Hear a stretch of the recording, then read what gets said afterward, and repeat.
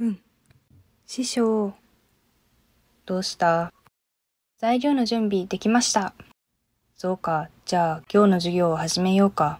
はい。でも、なんでわざわざ熊本での授業を？夢見竜のヒゲも高いし、一体何の魔法なんです？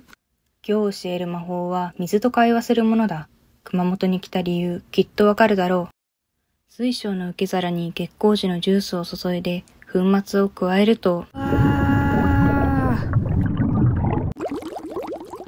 こは土の匂いと水の音が聞こえる。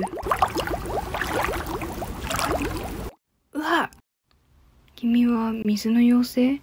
僕、この町の水を知るために来たんだ。教える代わりにイヤリングちょうだい。わかった。どうぞ。じゃ、行こうか。う、うん。君、地下水の生まれ方知ってる？ううん、知らない。見せてあげよう。まず、雨になって大地に染み込む。それから、君たち人間からしたら、長いこと大地の底で眠り続けるんだ。そしたら、澄み切った地下水として大地の外に生まれる。長いことって、どれくらい？僕らには今しかないから。地下水って熊本にしかないの？ううん、あるよ。熊本の地下水が特別なわけ教えてあげよう。僕らは町を支えてる。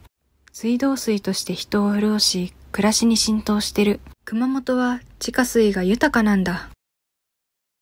観光に、子供の遊び場に、動物の飲み水に、熊本の地下水は人に近いんだよ。そうだったのか。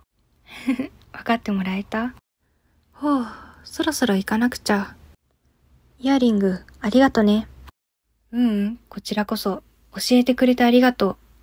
またね。じゃあね。は、はあ、師匠。ああ、おかえり。どう？熊本に来たわけ、わかった？はい。地下水の妖精が熊本の地下水は特別だって教えてくれました。水道水に地下水が使えるってすごいことなんだって。そう。世界を見てもそうそうこんな街はないよ。面白いですね。